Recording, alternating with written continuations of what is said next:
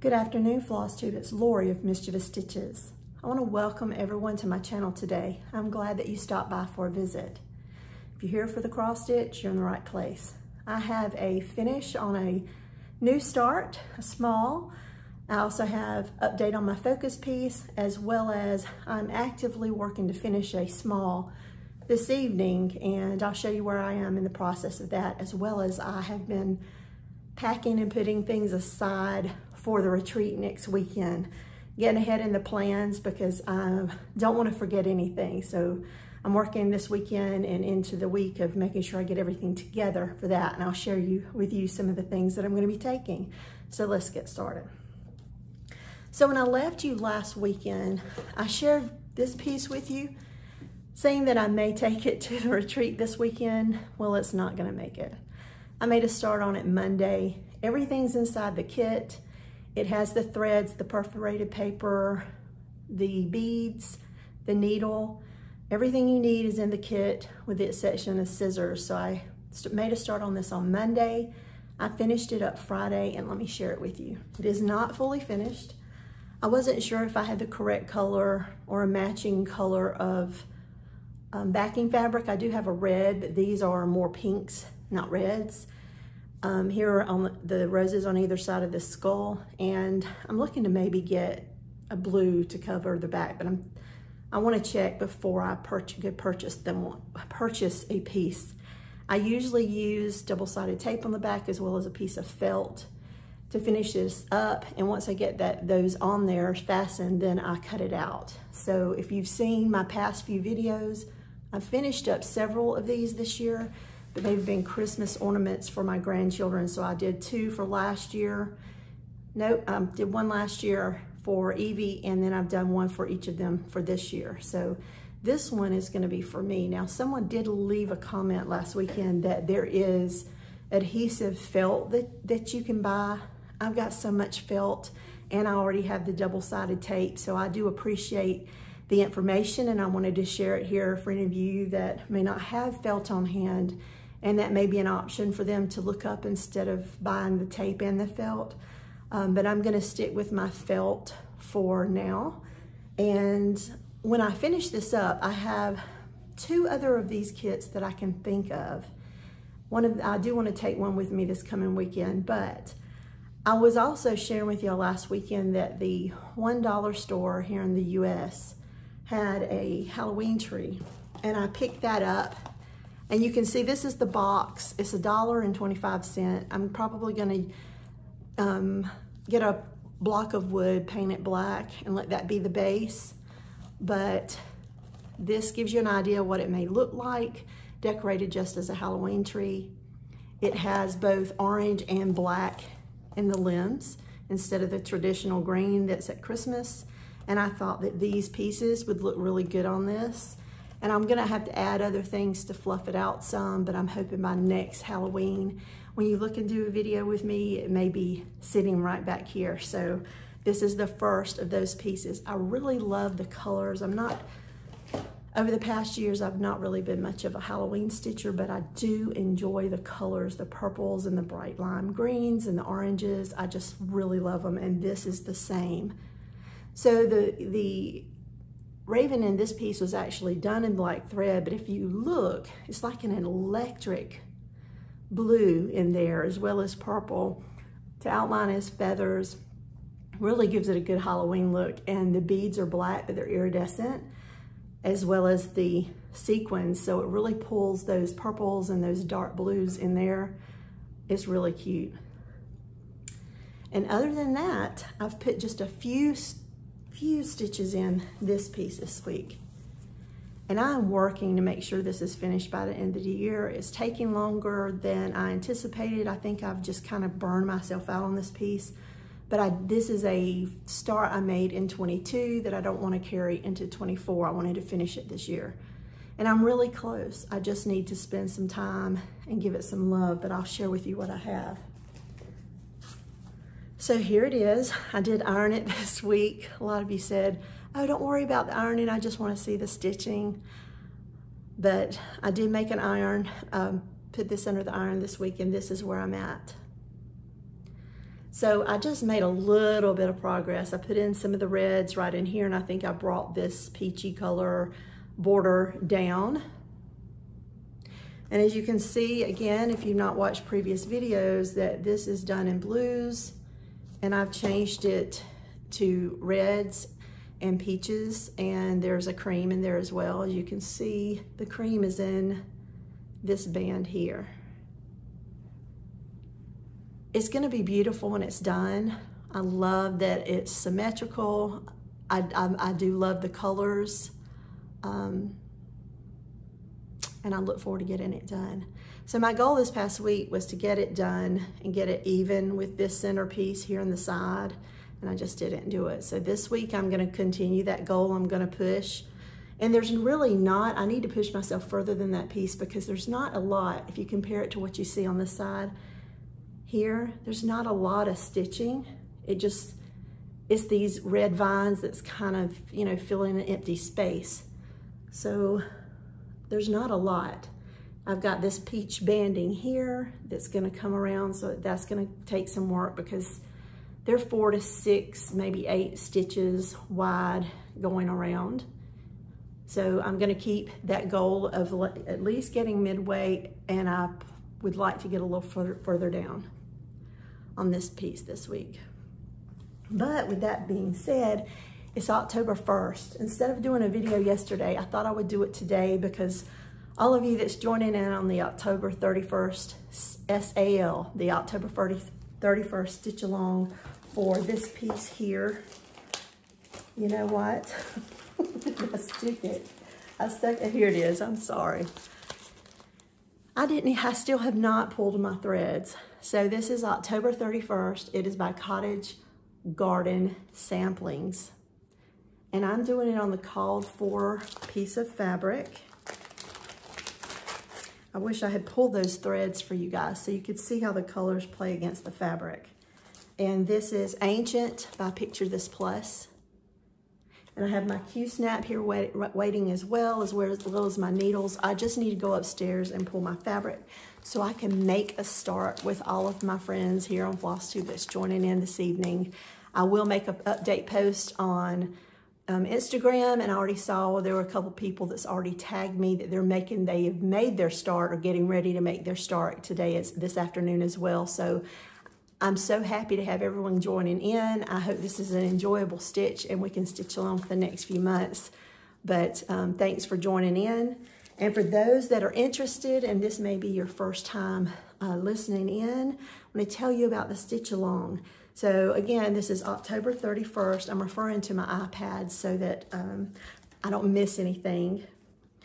This is going to be hosted by Kenzie of Mudpuppy Stitchery, myself, and then um, Barefoot Needlearts in North Myrtle Beach, South Carolina.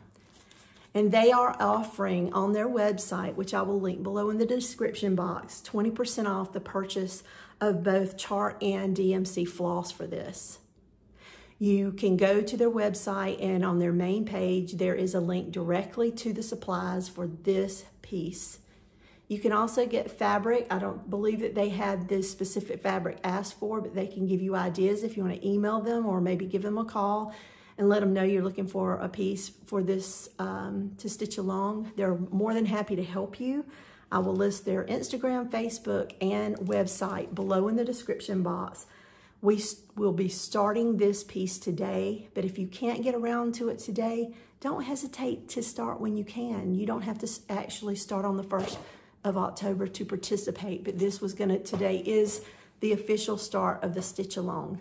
I was told that there are several that are attending the retreat next weekend that are waiting until the retreat to start this piece. So I want to make sure that this is packed away in my bag for the retreat so that I can stitch along with all those stitchers. And I look forward to it. I'm so excited about next weekend. And I think that's it. Oh, the promotional code, I need to make sure I say that again. When you go to, to Barefoot Needleart's webpage and you click on the link to the supplies for this, to get the 20% off, it is October, uh, uh, OCT 31SAL. That is your promo code. That is also the Instagram hashtag for this as well. So hashtag OCT31SAL for Instagram. Now, let's move on. So what am I taking next weekend? I'm always so excited. I pack way more than I'm going to put my little hands on while I'm there because those of you that had attended retreats before or stitches in your local area, we chat with our buddies more than we stitch. We want to see what they have in their bags, what they're working on. If they visit a shop and do shopping at the retreat, we want to see what they've bought because we want, might want to sneak back and get a copy for ourselves.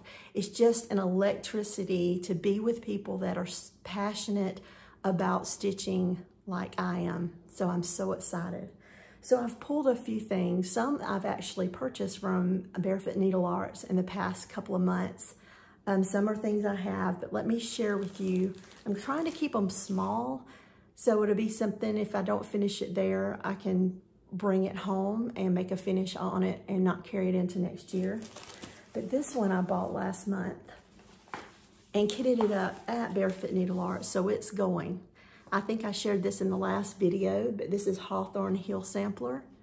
And I only have one thread in this so far, and it's the top left corner. So this is it, and I have all the threads and I did not use the call for colors. This, call, this color is Laura's Fabric Old and Crusty. And this was what they had on hand at Barefoot Needlearts. And I like that it was a little, this is more like the color of cocoa. Let me pull those threads. And there are the threads. I think it's gonna be gorgeous.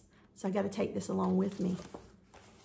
So I'm gonna be carrying all this in my Barefoot Needlearts bag that I purchased earlier this year. So I got to stuff it. So I'm to stuff it right now in front of you guys. So I want to make sure that I take it along with. So I also bought recently Wee Santa by Heart and Hand Needle Arts. I need to pull the threads for these. I'm to pull them at the shop this weekend, but I'm to take this along with me. I did uh, one of these last year and I really enjoyed it. And so I bought this year's and I've kitted one of the previous years up. I'd like to do this series if I can get my little hands on them. So there's this one. And then I pulled this. My first visit to ever to Barefoot Needlearts, I picked up this piece. And this is Maryland Blue Crab by Chesapeake Bay Treasures, number one. And I changed up the fabric and I bought a different thread, so I'm gonna share that with you. It's, it's in the this pouch with it. So I bought a thread keep from Barefoot Needlearts. And I bought one of their fabrics to stitch this on. And this is Spring Seas Photo. You can't really see in this video. Let me see if I open it up. Can you see the blue in that? I think you can like right in here. And then I chose Bonnie Brook and this is Cottage Garden Threads. And so I'm gonna be stitching this piece a little darker and on this fabric. My plans when I purchased it was, I've done this once before for a friend, is I'm gonna finish this up as a flat when I'm done. And I'm gonna use my grommet to, you know, it's probably gonna be finished into a square because, oh, I had that upside down. The outline is square, so I'll finish it up into a square, but I'll leave enough border when I finish it to put a grommet in the side so I can use one of the rings to attach it to the handles of my Barefoot Needlearts bag. That's, that's my plan for that one. That's why I purchased it.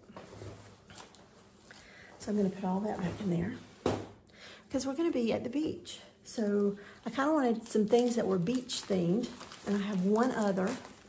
So give me just a second for that one. And I thought it was right here. Well, I'm not sure where I set it. Well, my oh my, I did have one other piece. Let me put these in the bag.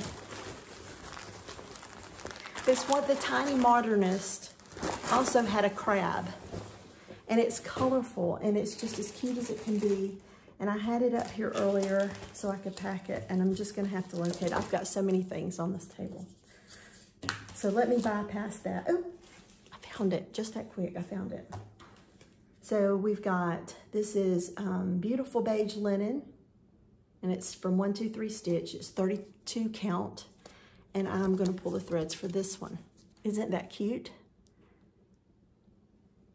And this is Crab Dance. For me, it's all about those colors, just beachy colors, just fun and happy, something that um, can be finished up relatively quickly and would be a, not as, not that it won't have counting, but maybe easier to work on when you're around a group of friends talking and giggling. So I also have a Q-snap. I went ahead and pulled that. So those are ready to go in the bag. And then I went upstairs and I just shared with you this piece. This is Nevermore that I just finished. And I told you I had two others. So I thought I would take those with me. And I'm not sure which one. I love them both. This is Cat-O-Lantern. To give you an idea, here's, I think they, they're done yearly. So you have different ones. And I don't like scary Halloween. I like kind of happy trick-or-treat kids kind of Halloween. And so this really makes me happy. And then this is Hoppy Halloween. And this must be a different year. Let me tap this down. Hold on just a second. I want you to be able to see the different ones that they have. Like I said, these are kitted.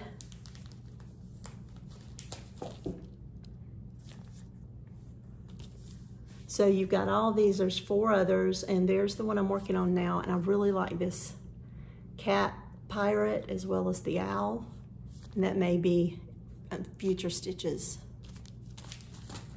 But there's, again, they're all, they're all kitted up, threads, buttons, sequins, needle, and the perforated papers inside.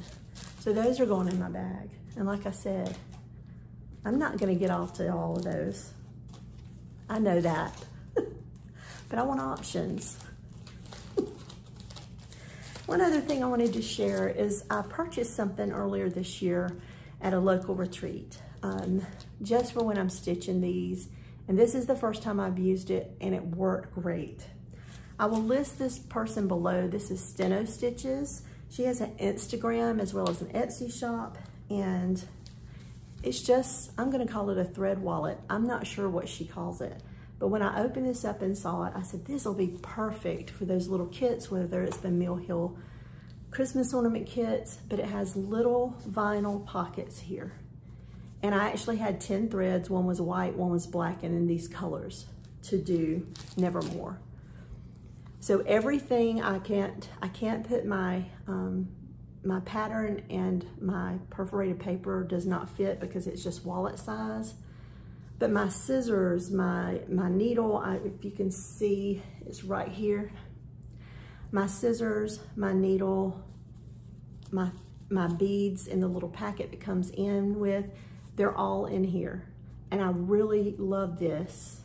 And I thought you guys might too, so I'll list her information below. And I'll just put thread wallet, because as I said on Etsy, I'm not sure what she calls it um, and how many she may have in stock, but I love this. And I will be using it for the others. What else did I have? Um, two, I finished this one, actually at the retreat I attended to pick this up. This was, I can show this here as a pattern because it's a freebie. So this is winter freebie. And this was my finish. I just used a scrap piece of paper. It's an ornament. Of course, I'm gonna use it as a Christmas ornament. And a lot of you guys asked where I got this from and it had come in with an order I made, I don't know how many years ago. Um, and I just threw it to the side in a folder I have for things like this, freebie designs. I can't find it online. I tried to find it. I don't think that this, this is by the Stitcherhood, and I don't think that they're actually um, designing anymore. The website address that's listed was not, in, was not active. So I thought, I'm not going to make copies and pass this. But if someone would like this, just leave a comment below um, that says winter Um, again, all the rules apply. If you're uh, under 18, you must have your parents' approval. Do not say giveaway or freebie or anything listed below in the comments. Um, but I will draw a, a, name next weekend. Not next, next weekend, let's give it two weeks. Um, but leave the comment on this video and I will pick a winner for, and just pass this on to whoever would like to stitch it. Now, speaking of giveaways, so last weekend, sun's shining in my skin. Last weekend, I mentioned that I had a kitted up piece. When I say kit, it's pattern and threads, fancy floss and DMC for October 31st for someone who would like to stitch it. I had a total of 102 comments for this piece and I want to announce the winner of that now. I have not yet left a comment on the person's comment, but we'll do so shortly after this video is um, done and uploaded. But the winner for this kitted piece is Carol McQueen, and she said, I was born on Cinco de Mayo, I haven't done a birthday start before, but I plan to in 2024. A lot of you were that way. A lot of people had never even heard of doing a birthday start until they started watching FlossTube. Some like to focus on a specific piece and not begin another till that one's done. Um, and I loved reading all the comments. I didn't comment to many of them, but I did at least give you a heart to let you know that I've read it and again, Carol McQueen, it, my email address is listed below. If you wanna shoot me an email or reach out to me on Instagram, if I can find you there through, um, through a personal message, I'll be happy to get back in touch with you and get your mailing information and I will get this out to you as soon as I hear back from you. So I have nothing else to share. Um, I'm still gonna be actively packing my Barefoot Needlearts bag I have Q-snaps and a hoop and I want to get a couple of my empty project bags. Can you believe I have empty project bags after that WIP video I did? But I do. I'm going to put those in an empty project bag, get those ready so I'm all geared up and ready to go. Oh, I forgot to show you what I was what I was finishing today.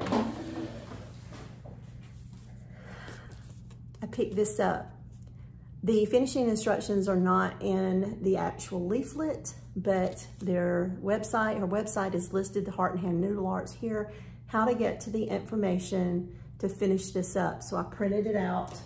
I cut out the templates. I've already put the interfacing on the back to keep it sturdy. I've got my templates cut out. which is again listed at her on her website. And I've, I didn't do the small one yet, but the small one, there's enough room here for me to trace out the small one and cut this out. And those are gonna be my templates. The reason there's two circles is one is beneath the actual finished piece. The second piece of mat board is under that, so your piece doesn't shift on top of the hardware bowl. So I've got my thread here, my sewing needle. I just need to cut this out. I need to cut out the,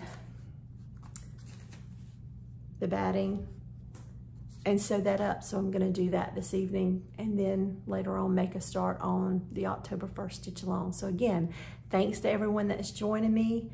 Um, thanks for watching each weekend. Thanks so much for the comments too. You all are so positive. I very rarely get the negative comments um, predominantly. They're all positive, and I thank you for that. But until next time, hugs and stitches, and I can't wait to share with you everything about the retreat. I'm so excited. Take care. Bye-bye.